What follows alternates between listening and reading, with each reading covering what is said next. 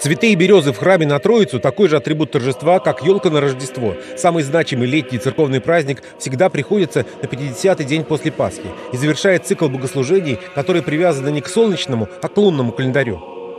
А на праздник Троицы земля травой покроется. Принято считать, что именно с этого дня лето полностью вступает в свои права.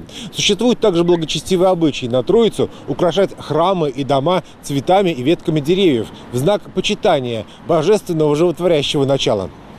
Праздник установлен в честь библейского события, которое называется «Сошествие Святого Духа на апостолов». Его каноническое изображение находится над центральной алтарной частью в Самарском Софийском соборе. Помимо Богородицы и 12 ближайших учеников Христа есть еще один персонаж в царском венце. Так в иконографии персонифицируется космос, царь космос. Его изображение в центре храма словно соответствует основному тренду развития Самары, космической столицы. Да и само событие праздника имеет космическое значение. По сути, это день основания основании Вселенской Церкви.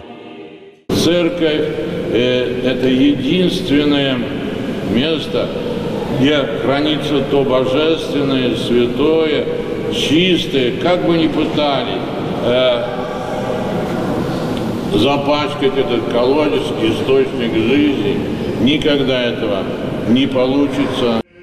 Во всех храмах Самарской митрополии в полной мере соблюдаются требования Роспотребнадзора. Регулярно проводится дезинфекция на полу обозначенной линии социального дистанцирования. Однако многие прихожане в праздничный день все же решили остаться дома. Тем более, что в интернете и на многих телеканалах были организованы трансляции богослужений из десятков разных храмов мира. Олег Зверев, Григорий Плешаков. События.